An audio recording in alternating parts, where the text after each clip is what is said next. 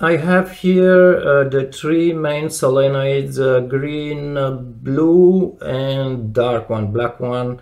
Uh, this is the smaller one. Uh, this came from a Volvo S60. These are genuine. Uh, they have some miles on them. Um, these are from an S60 2007. Volvo did set each top screw at some place from the factory. So this is what I'm going to measure now. I'm going to screw it down uh, and measure how much is screwed down. So when you want to adjust yours and have the same adjustments, maybe you are buying new ones, just screw them down and then unscrew them counterclockwise the same amount I'm going to screw this one down. Uh, each one it's a different adjustment and bear in mind this is 2007 I'm not sure if all the years had the same adjustment but it's the only one I have um, I'm going to use a T15 1.5 Torx because there's a Allen key socket in there um, hole, but I couldn't find a, a correct Allen socket, uh, Allen key. Uh, you may want to try. It's kind of two, three millimeters wide. I'm not sure. I'm going to keep this uh, spring uh, on in place. Uh, so let's just go with the black one. Uh, I'll try to measure full turn let me just adjust my key first. So uh, starting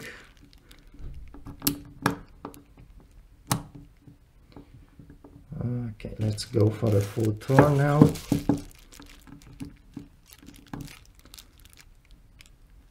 It's not going to, going to be uh, with a precision of one degree but uh, it's good enough. I think this is one full turn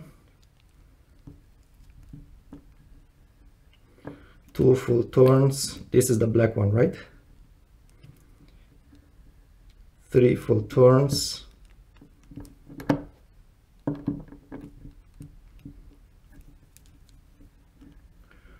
four. And it stopped. Let me just count how much it stopped. Uh, okay let's go back. So that's four full turns and at this point uh, I'm going to go back to the bottom, but I'm going to just count. If you see the uh, there's kind of uh, bumps on the uh, on this adjustment screw. So you can basically feel those bumps when you turn slowly gently with a little bit of pressure you will feel them. So I'm going to count this. Let me just start from that same position. Uh, I think it was more or less uh, more like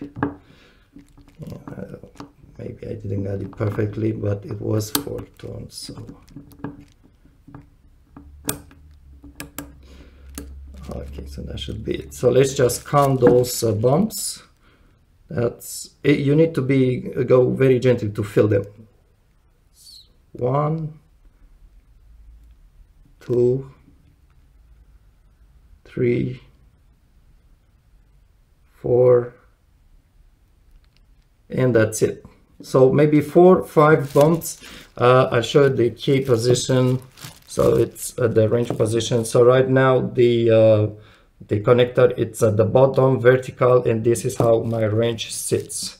So I would say if you want it's about uh, that's 90 degree plus about 45 degrees. It's 90 plus half way to another 90 so this is the black one again, like I said, uh, you screw it down and then undo four turns and uh, 90 degrees plus 45, that will be 130 degrees. So that's all, 135 degrees plus four full turns. This is the black one. Let's go for the blue one. Same thing. I'm going to start at the angle of uh, 90 degrees uh, to with respect with this uh, connector just adjust the key a little bit to be more precise, uh, more accurate on that measure. Okay, so right now it's an angle of 90 degrees with the connector. So I'm going clockwise to tighten down that uh, adjusting screw or whatever name is. So one full turn on the blue one, two full turns, three full turns, four, four, four, four full turns, five. I think I'm reaching the bottom. Six. Kind of I lost the contact with the spring at this point but it's six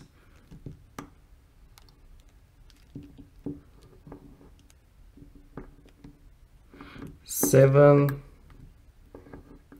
Okay what I think it happened is that I lost contact with that uh, that clip. So that's interesting. Basically I think if you go that way to screw the blue one for some reason you just kind of reach a point where it starts spinning by itself I think yeah it's kind of loose in there. It's kind of basically detached from the from the screw hole. Uh, so well then what can I say?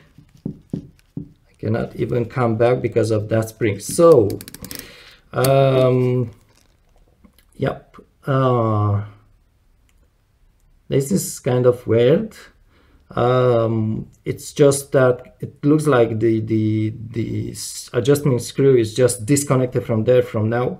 Uh, so basically I guess I guess on this black blue one that's the blue one you cannot just screw it down and measure anything. So you are going to uh, mess it. Um, I don't know what to say. Maybe you have to unscrew it all the way up I'm really not aware so let's just put this one on the side and uh, just forget about this blue one. These are spare for me so I, don't care much about them. Uh, let's just try the green one see what happens. I'll just give it a few turns and then uh, see if it goes down or not. Uh, so let's just start at 90 degree again with the handle full turn one turn it goes down. Two turns. That's three turns. Four turns. Five turns. Honestly I think it goes the same way as the blue one. Let's just give it another turn. No I'm not going to keep going that would be the sixth turn but let's just go back a little bit. So five turns. Let me just undo those five turns now. Four three two one and zero and I notice is interesting I do notice that on this green there's a kind of surface I don't know as I if I have something to point to precisely with it but this surface right here that moves down when I rotate it it's coming flush with the outer surface at zero turns.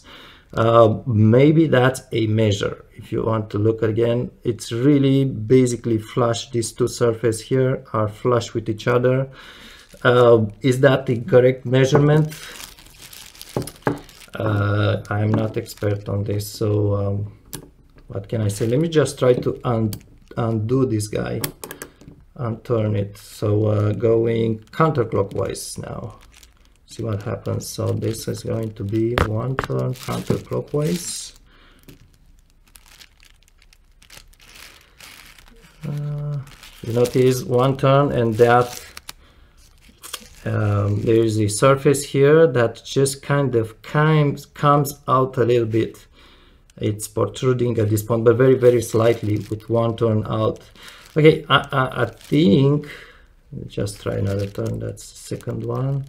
So at this point, I see that the, that clip, it's just uh, protesting a little bit and it's coming out, sliding out. Okay, so um, let me just go back.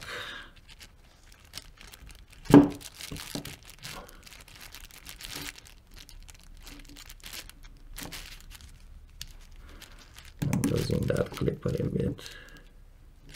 So this is one. And I'm going back to the initial position.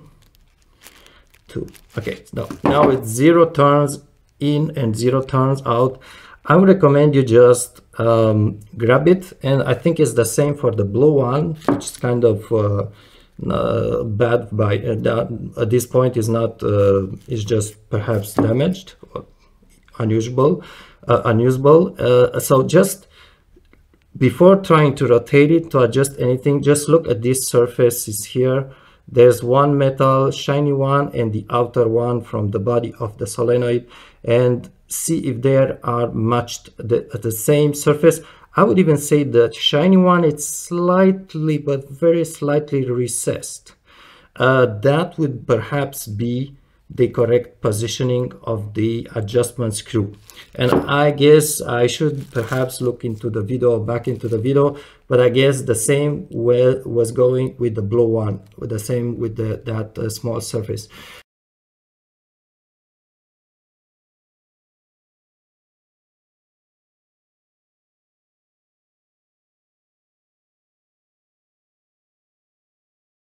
Uh, by the way, once you got it down there, I don't think you can uh, back it up uh, again.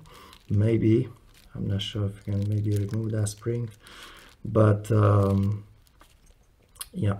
Uh, this is for the uh, adjustment of the solenoid. Let me just talk a little bit about um, my recommendations. Uh, I did there are uh, there is a, this one video one guy on the internet that pulling his genuine solenoids, the original ones, from the car, it's bending this lip out. You can use kind of uh, cutting pliers to bend it out, removing the solenoid, and then use um, a, um, a tip and trying to clean the bushings, the two bushings inside with that tip. I don't know what the size is, but I did that on my car. That's that was the first thing I did on my car, on my transmission. I uh, removed my genuine ones. I tried to clean them, put them back in the transmission. I can say I'll put a link for the whole job in the comment section, but it's a big job. It's not a 20 or 2 hours job. It's a long job. And I put it back and I noticed my shifting got very much worse and especially also the uh, gear shifting got terrible uh, when I was switching from uh, park to D I would get a delay of few seconds then a big slam into the transmission which I never had before. So my recommendation if you are going to replace the solenoids to open the valve body uh, cover and stuff and try to work on the solenoids. Don't chip out and try to refurbish your old ones. Just buy new old solenoids they run for about 120 35 uh, 30 dollars so it's really not a big money. Uh, get the Rostra ones. The Rostra ones look like this coffee bay. You need to get this package with them because i can say that there are a lot of weird sellers on ebay um, a lot of guys who sell refurbished one from China, really weird thing. You really don't want to touch that stuff. Um, you really need to get Rostra one because the genuine are Rostra ones. They will look like this with this uh, kind of uh, cut here and the uh, mark on them uh, this says 1b 1a and this one doesn't say anything.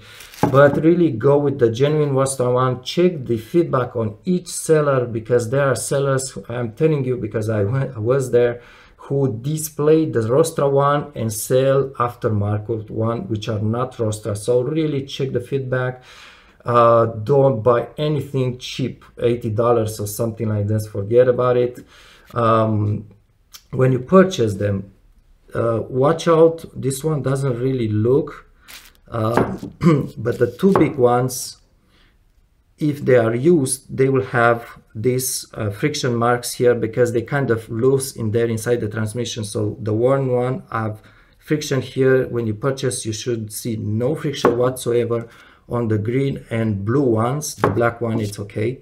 Uh, so no friction. So again get Rostra one. Don't mess with refurbished things because like I said uh, I had a drill uh, the correct drill size and try to clean the um, the bushing inside and then you clean a little bit and then you try to see if the sleeve will slide down if you incline it and it's really impossible to know at which point you have cleaned those bushings and at which point you have gone too far and basically remove material from the bushings. Because on mine honestly it would i will just drill it and it will always show, show like black material removing.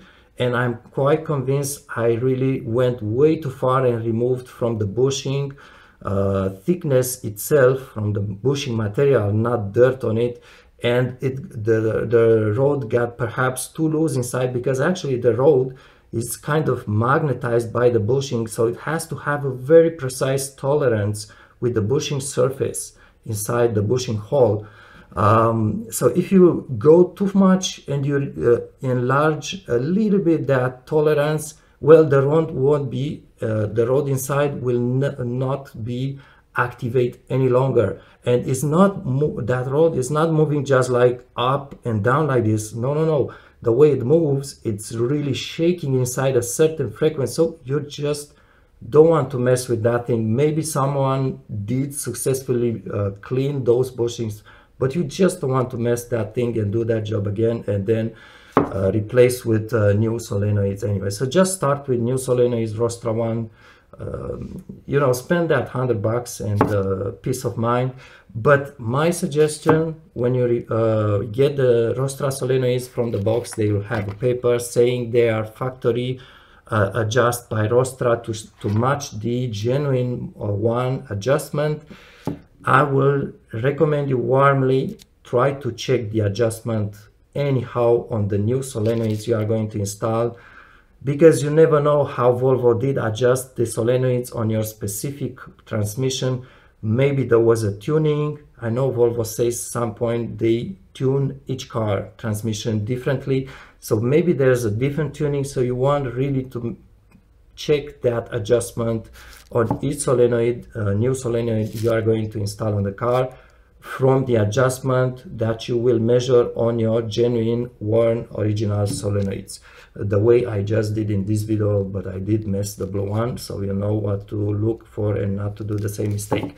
So this is it guys. Uh, long long video. Sorry about this but uh, just uh, take it slowly and watch it entirely if you I think it's useful. And uh, thanks for watching. Any questions uh, feel free in the comment section. I'll put also a few links for uh, Volvo forums, very, very useful. Uh, myself, I use usually uh, Matthews Volvo forum and also one from UK. The links in the video description and also links for uh, how to remove the valve body cover and replace these guys. Thanks for watching.